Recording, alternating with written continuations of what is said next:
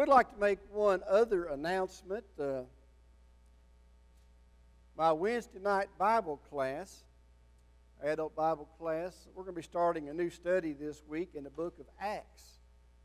And uh, as I've been studying, preparing these lessons, thought about how the persecution they were going through back in the first century, that's facing us today, isn't it? They had to deal with a lot of persecution and laws that were made against them and uh, government, religion, many things that they had to face. So uh, I want to encourage you, if you can, to come be with us on Wednesday night at 7 o'clock and uh, be part of this Bible study. Let's go back to Hebrews chapter 10 tonight. We're going to kind of continue on from where we left off this morning. We're going to begin with verse number 26, Hebrews chapter 10, verse 26. Some people have the idea that when you come to know the Lord and get saved, you're saved eternally. You cannot lose it. But some seem to have the idea that, well, it doesn't matter how I live after I'm saved. Doesn't matter what sin I might commit because I'm saved forever. What's the wrong way to look at that? It does matter. Uh, the Bible does teach eternal security, and I'm glad of it. I love that doctrine.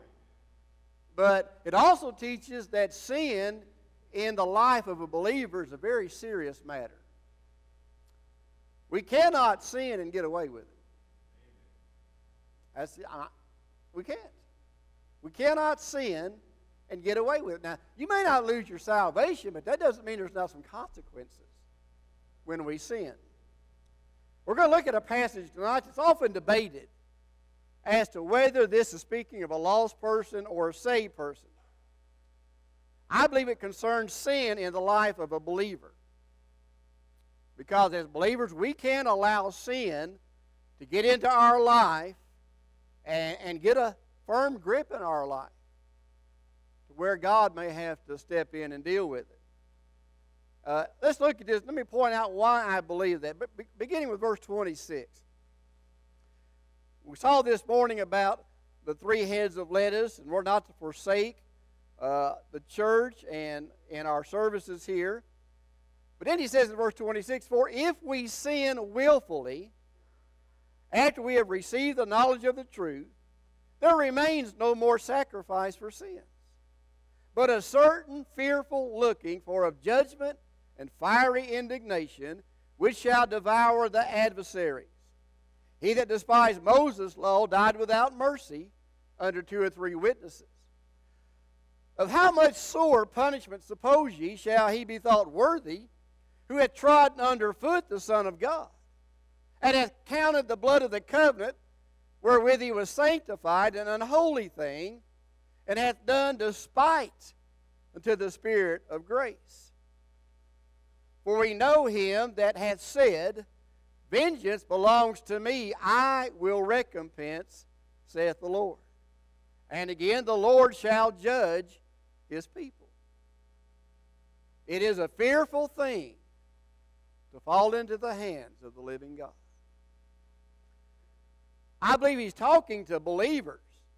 He used the word we here. If we sin willfully. This, this connects with let us draw near, let us hold fast, let us provoke. And we. Obviously, he's talking about we believers who know the Lord Jesus Christ. We have received, he says, that's a definite act. And the knowledge he's talking about here, which means full knowledge, not just an acquaintance with something, wherewith he was sanctified. Who does God sanctify? His believers. Those who have been saved have been set apart unto God. They have been sanctified. And verse 30 the Lord shall judge his people. Who are his people? Believers. So he's talking about believers who allow sin in their life and get involved in sinful activities as an habitual lifestyle. They don't deal with it, they don't confess it, they don't forsake it. What's going to happen?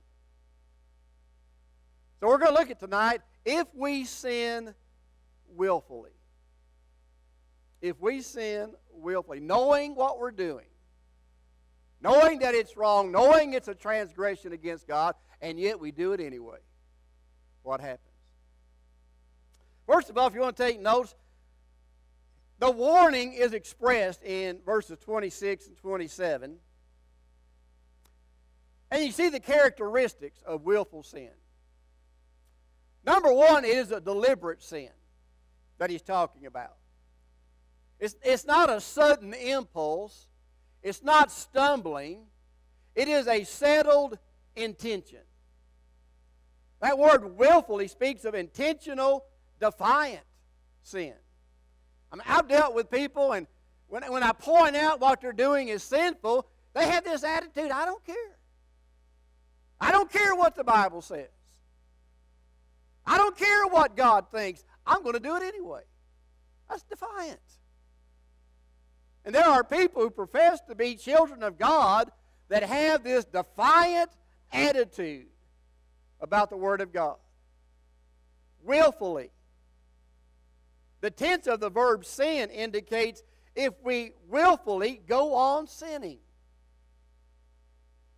Not forsake it, not confess it, deal with it. See, it's not dealing with a particular act of sin, it's dealing more with an attitude that leads to repeated disobedience to God. You ever, have you ever committed a sin and knew you were sinning when you did it? We all have. We have all committed deliberate sin. We have all sinned with our eyes wide open. Now, we can commit ignorant sin. We, we can commit sin ignorantly. We can sin not realizing we sin because we may not be knowledgeable enough of the Bible. But, folks, all of us have been guilty of sinning and knowing what we're doing is a sin against God. That's serious. That's serious. Many choose a sinful lifestyle, knowing that it has been condemned in the Word of God. And in doing so, folks, we're forcing God to act in judgment upon us. Not only is it a deliberate sin, it's a disturbing sin. It's disturbing because it excludes the power of Christ in our life. You see, if you sin deliberately after you receive the knowledge of truth, he says there remains no more sacrifice for sins. What does that mean? We've noticed here a lot of references to the Old Testament sacrifices. They had a purpose. But the Old Testament sacrifices could not save anybody. They could not do away with sin. We've talked about on the Day of Atonement, right? High priest will go into the Holy of Holies on the Day of Atonement, and he makes a sacrifice for the people of Israel for the coming year, or maybe for the past year. I'm not sure how that worked. But once a year, he made atonement for the people of Israel. But on a daily basis, they also made sacrifices. But no provision was ever made in the Old Testament for presumptuous sin. When Christ made his sacrifice at Calvary, it was for sin and also for sins. Let me point something out. If you look back in chapter 9, verse 26 of Hebrews, Hebrews 9 26, for then must he often have suffered since the foundation of the world. But now, once at the end of the world, hath he appeared to put away sin, singular, by the sacrifice of himself. In chapter 10, verse 12, it says, But this man, after he had offered one sacrifice for sins forever, sat down on the right hand of God. One place it says sin singular, another place it says sins plural. Is there any significance to that? what's the distinction between sin and sins?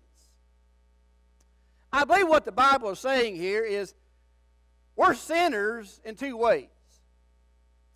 I'm a sinner because I commit sin. But I'm also a sinner because I have a sinful nature. We're all sinners by nature, right? And we commit sins.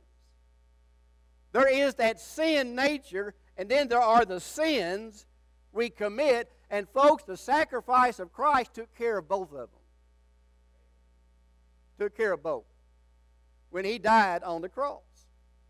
In order to deal with the problem of sins, you must claim the power of the cross. And the sins you commit on a daily basis, you need to deal with them. You need to confess those sins. Don't let sin dominate in your life. Folks, we can grow spiritually and learn how to overcome sin to a large extent. Now, we'll never completely live a sinless life. Amen. You, you can't be sinless, but you can sin less.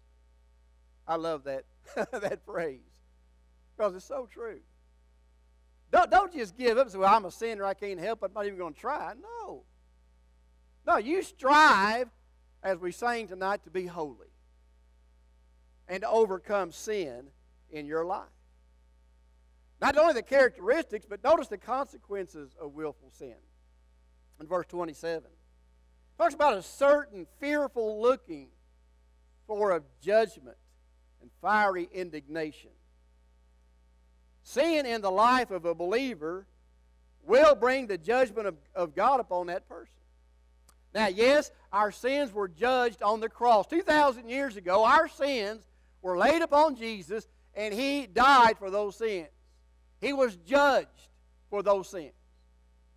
And we're not guilty of those sins in that sense. But the Bible also teaches that we're going to stand one day before the judgment seat of Christ. Not to be judged for sins, but to be judged for how we lived our life. He said, whether good or bad. So if a believer lives a sinful lifestyle, deliberate, willful sin, he will face the fiery indignation of God. There's parables where you know, the master rebukes the lazy servant who does not serve him, is not faithful. Luke 12 47.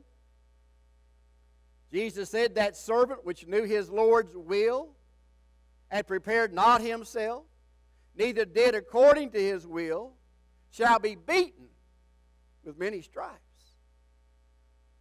You ever studied that verse?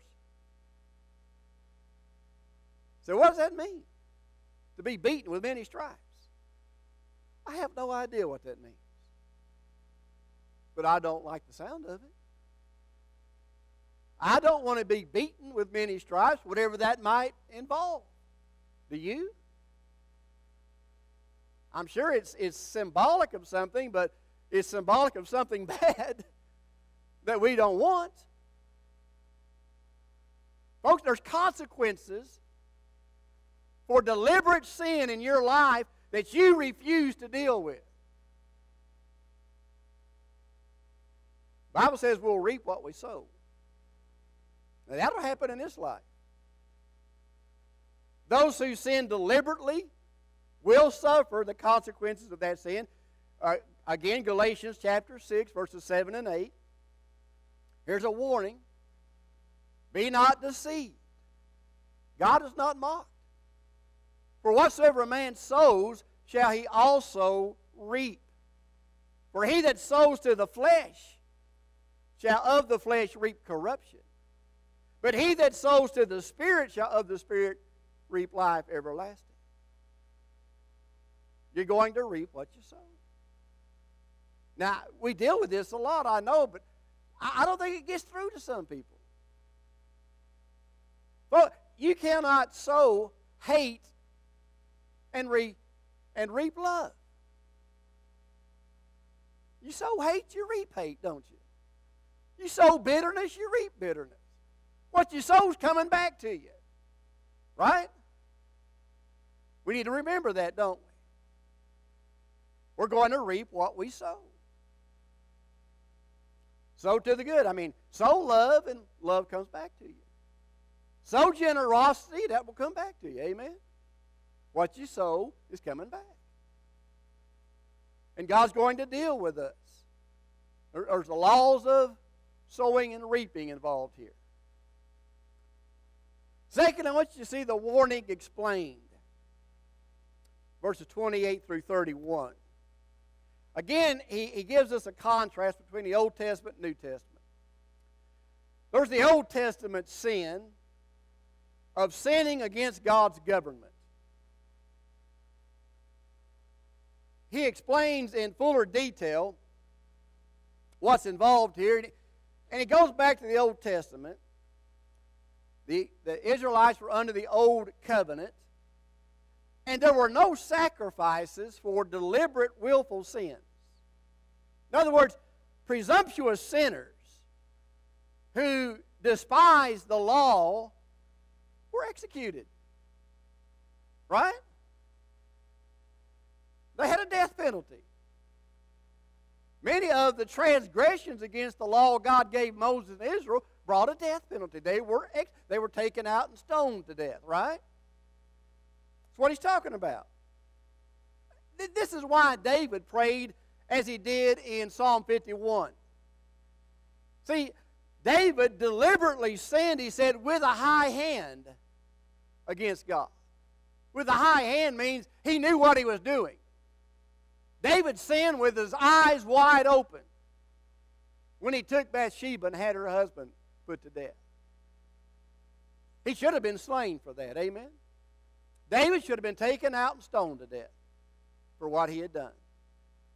That's why he went to God, and he knew that no amount of sacrifices could save him.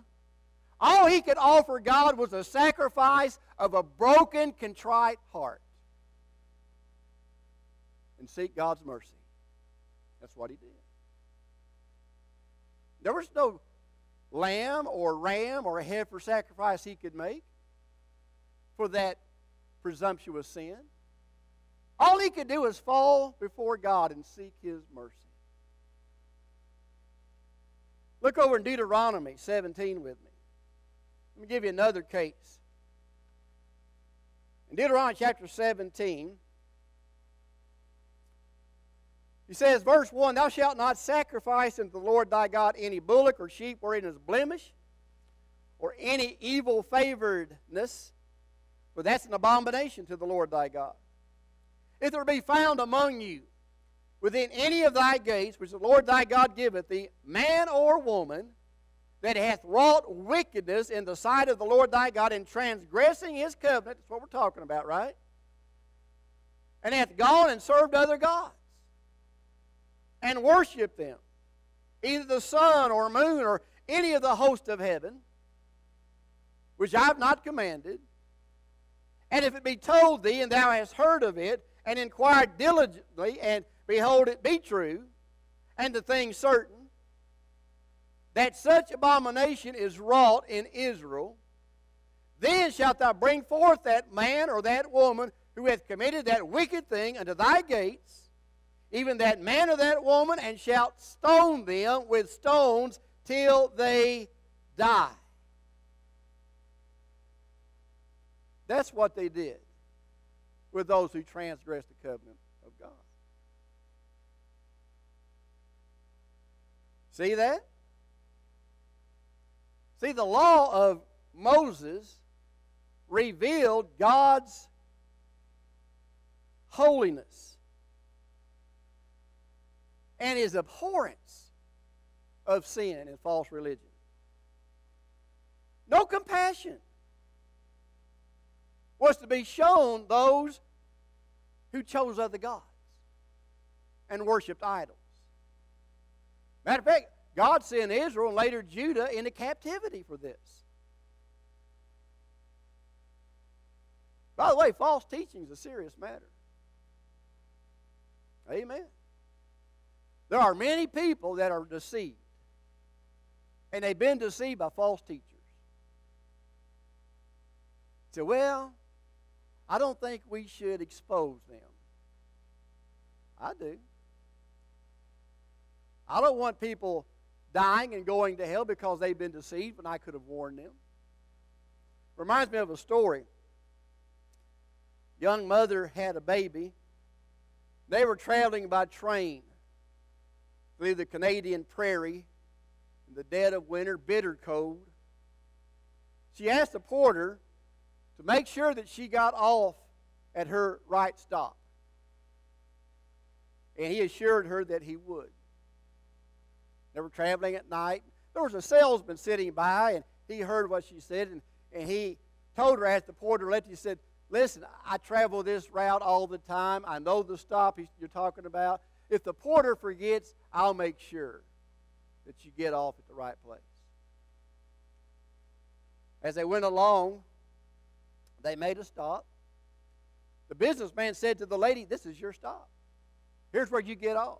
I knew that porter would forget. Boy, aren't you lucky I was here?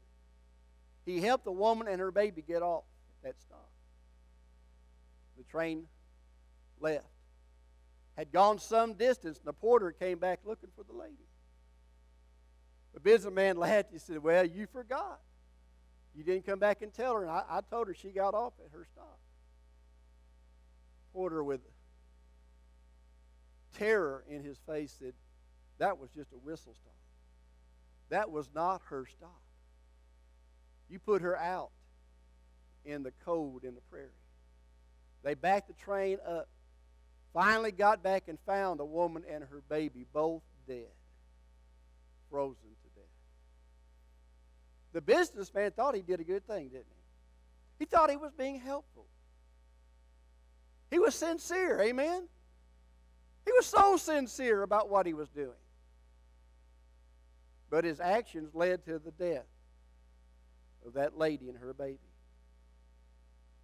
What I'm saying is, there's a lot of people out there teaching false doctrine. They may be sincere about what they're doing, but they're sincerely wrong. If it's not according to the Bible, folks, religious error, it's more than deadly, it damns souls forever. That's serious. The Old Testament sin is sinning against God's government. Paul is now contrasting that the New Testament sin is sinning against God's grace. Now, see this. Note, note the seriousness of the crime here. Threefold. First, it involves reproaching the Son of God. To set aside the law of Moses called for death. How much more serious to set aside what God has provided through His Son Jesus Christ? To bring reproach upon Jesus, the Son of God, and, and tread underfoot His blood and sacrifice. How serious that is. Much more serious than any crime in the Old Testament. Right? Those who live backslidden, sinful lives, knowing it, knowing what they're doing, bring reproach upon the Son of God. That's serious. Amen. That's serious. When a professed believer is deliberately sinning, he is saying to the lost world, I don't care what Jesus said. I don't care what the Bible says. I'm going to do what I want to do. It's reproach upon the lordship of Jesus Christ. He links this back to verse 25. One deliberate sin that many commit is forsaking the house of God. People know better and they do it anyway. Instead of attending services where they can worship with others and praise their Redeemer, they choose to gratify the flesh. They would rather sleep in late They would rather seek recreation or pleasure.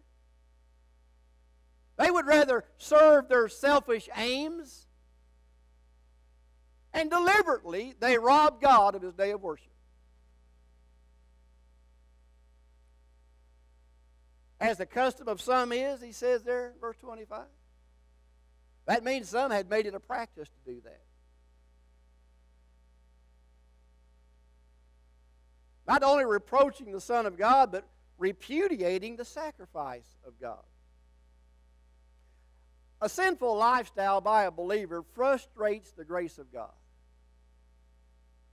It's a life that repudiates the salvation and sacrifice we have through the Lord Jesus Christ. The life does not testify in favor of that, it testifies against it. Now, folks, listen. Every one of us has a testimony. Amen. Every one of us has a testimony. It could be a good testimony, it could be a bad testimony. But you've got a testimony. You're, you're testifying to something in your life. You're bearing a testimony. You can be a good witness or you can be a bad witness. You can be a stepping stone or you can be a stumbling block. You choose. Let me show you what Paul wrote to the church in Philippi, Philippians 3 18 and 19. And notice he's talking to church members here. He says, For many walk, of whom I've told you often, and now tell you even weeping, that they are the enemies of the cross of Christ, whose end is destruction, whose God is their belly, whose glory is in their shame, who mind earthly things. He's not talking about lost people. He's talking about church members who live this kind of lifestyle.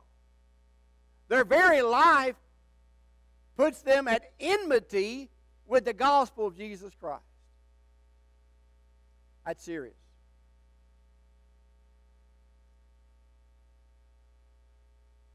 Not only reproaching the Son of God, repudiating the sacrifice of God, but resisting the Spirit of God. Something else happens here in the life of the carnal believer. He's resisting that indwelling Holy Spirit. As I mentioned this morning, your body is the temple of God, and the Holy Spirit dwells within you. He's there for a purpose. He's there to guide you and direct you and, and help you live a holy, clean, dedicated life if you will let Him. Now, He's present, but is He president? Now, you may have locked Him off in a closet somewhere in your, in your life. You said, Holy Spirit, you get into this little broom closet, you stay there. I don't want you involved in anything else in my life. I don't want you involved in my business life or my social life or whatever. You just stay in that closet. Well, he's there, but he's not preeminent, is he? To be filled with the Spirit, folks, means that the Holy Spirit is preeminent in your life. He's calling the shots. And you're following his leadership and His guidance. When you sin, you grieve the Holy Spirit. What do you think that means to grieve the Holy Spirit? Think that's healthy? Ladies, suppose your husband brought a disease infested harlot into your home, and he announces this is going to be my mistress, and she's going to live with us. And he's going to expect you and the children to accept her and welcome her into your home. Would that fly? Of course not. And yet, in many ways, we try to do that to God. We want to invite all the filth and abomination of this world into our life and expect the Holy Spirit to be okay with it. It grieves Him. A believer with open, willful sin in his life is really useless to the cause of Christ. His life openly ridicules everything we claim to stand for. And it gives the lost world more opportunity to mock us and ridicule our faith. I didn't think I'd get many amens tonight, but you are listening, aren't you? What did Nathan tell David when David was confronted about his sin? Nathan said in 2 Samuel 12 14, he said, David, by this deed, the sin he had committed, thou hast given great occasion to the enemies of the Lord to blaspheme. I don't think anybody here wants to live that way. You don't want to live a life that gives occasion to the enemies of God to blaspheme your Lord and Savior, do you? Are you resisting the Holy Spirit? Are you grieving the Holy Spirit? Not only the seriousness of the crime, but note the solemnity of the consequences. He talks about in verse 30 and 31 the, the fiery indignation of God that comes upon those who willfully sin against God. I want you to see, first of all, it's a formal judgment. God is going to deal with the carnal believer. He'll do it either through discipline or death. Divine vengeance does not result from a personal passion, but from outraged law. We're dealing with serious issues here. The Son of God, the salvation of God, the Spirit of God. These are serious issues. Would you agree with that? These are serious. And God's going to deal with it. I say either through discipline or death. He'll either chasten whom he loves, he will chasten. He'll correct us. Sometimes through death. Write down this verse 1 John 5 16 and 17. 1 John 5 16, 17 says, If any see his brother sin a sin, which is not unto death, he shall ask, and he shall give him life for them that sin not unto death. There is a sin unto death. I do not say he shall pray for it. Oh, preacher, tell us what is the sin unto death? I don't want to commit that sin. What is? Is it is it murder? Is it blasphemy against the Holy Spirit? What is the sin unto death? Well, it's not a particular sin. It's more the idea of crossing the line. And after a while of openly sinning against God and going on in rebellion and disobedience, there comes a time you cross the line and you commit one sin too many, and it's a sin unto death. There's examples of that in the Bible. Ananias and Sapphira committed a sin unto death. So all in the sin unto death is lying to the preacher. I want you to think that anyway. They lied to Peter, didn't they? They said, Well, yeah, we this is how much we got. We gave it all to the church. They lied. God killed them. Is that the sin unto death? Lying to the preacher? But then you read about in Corinthians people that were mistreating the Lord's Supper died at the hands of God. Was that the sin unto death? See what I'm telling you? Moses committed the sin unto death when he struck the rock, when he was supposed to speak to it. He was not allowed to cross into the promised land. He committed sin unto death, didn't he? It's not a particular sin. It's the compiling of sin. It's not dealt with, not forsaken, not confessed. You can commit a sin unto death. When David deliberately sinned, you know what Nathan said? Because you have repented, God will not take your life. You will not die. But he did suffer the consequences. Remember, he, he, he passed judgment on himself, didn't he? Remember, because Nathan came and told him about the poor man with had the lamb, and his rich neighbor took his lamb and killed it and offered it to his guests. That made David so mad, didn't it? He said, The man that had done this will surely die. And he will repay fourfold. What Nathan do? David, I'm talking about you. You're the man. You didn't take somebody's lamb, you took somebody's wife. Not only that, you took his life. You're the man. And David had condemned himself to die, didn't he? He said, That man will surely die. But then he repented and sought God's forgiveness, and God set aside the death penalty. But he did pay the fourfold. Not only is it formal judgment, folks, it's fearful judgment. It's a fearful thing to fall into the hands of the living God. It could get to the point where God may have to remove some of his children from the scene here because it becomes such an embarrassment to him. Your children ever embarrass you? You take them out somewhere and they just act up and they just embarrass you, and you try to correct them and correct them, and finally you just say, all right, that's it. I'm taking you home. You've embarrassed me enough. Some of you look guilty, like this has happened. We all understand that. Our Heavenly Father might get to that point where He said, You know, you've embarrassed me enough.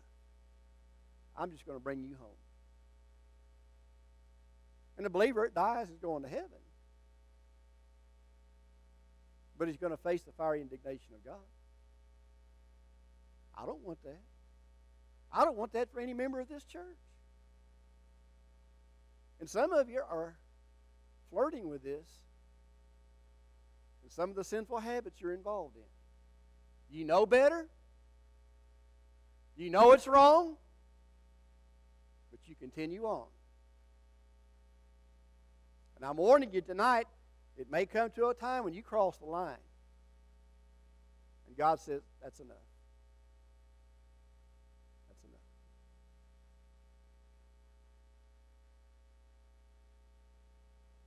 Bible talks about some being given over to the devil. There were some members that Paul said, put them out the church. And in so doing, you're giving them over to the devil that they learn not to blaspheme. To be outside the fold of the church is dangerous, folks. That's how you're given over to the devil. In the fold of the church, and under the care of the shepherd, there's some protection. But those who are put out because of a sinful life that they will not confess and repent of. Now, the roaring lion seeks to devour those that are outside the fold. That's dangerous That's a dangerous way to live. That's a dangerous thing to put your family in, fellas. You got sinful habits that you're not dealing with, you're putting your family in danger. You're, you're to be protecting them, aren't you? Hey, if it's fearful for a believer to fall into the hands of God for chastening, how much more fearful is it for the unbeliever to fall into the hands of a living God? to have died and rejected his only son for salvation. God's most severe judgment is reserved for Christ rejectors. Those who die lost. Do you remember I told you in the beginning there was five warnings in the book of Hebrews? In closing, let me remind you of these. It begins, the believer who begins to drift from the Word. We saw that in chapter 2, verses 1 through 4. They're drifting. That's the start. Then they soon begin to doubt the Word of God. That's brought out in chapter 3, verse 7 through chapter 4, verse 13. Then they become dull to the Word of God. We see that in chapter 5, verses 11 and all. They become lazy in their spiritual life, and that will result in their despising the Word of God and treating it with reproach. And the evidence of that is willful sin in that person's life. You can't talk to them, you can't reason with them. I don't care. I've dealt with couples living together, knowing the Bible condemns it. They choose to live together without marriage, and their attitude is, I don't care. I don't care what God says. They profess to be believers, and yet they've got this attitude of despite. That's dangerous. That is a dangerous way to live, folks. And if you've got family members doing that, you need to warn them. Don't condone it. I think there's too many people condoning this stuff. Don't condone it. Warn them. You're, you're walking on dangerous ground here, and God is going to deal with you. David said in 1 Chronicles 21 13, he was given a choice whether to fall into the hands of men for judgment or into the hands of the Lord. And he said this in 1 Chronicles 21 13, Let me fall now into the hand of the Lord, for very great are his mercies. God loves you. Don't doubt that. But God loves you too much to let you go on in willful sin.